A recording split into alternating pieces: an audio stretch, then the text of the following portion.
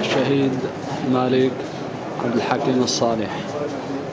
12 9 2012 الحولي.